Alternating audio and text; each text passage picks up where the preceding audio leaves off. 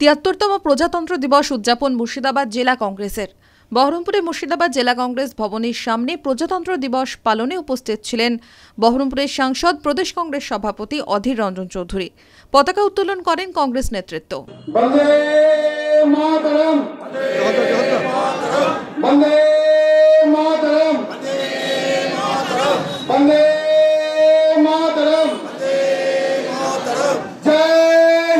শহীদ বেদিতে মাল্যদান করে শ্রদ্ধা জানানো হয়। দলীয় নেতাকর্মীদের উদ্দেশ্যে বক্তব্য রাখেন প্রদেশ কংগ্রেস সভাপতি। আমাদের সংবিধানের মূল মন্ত্র কি জানেন?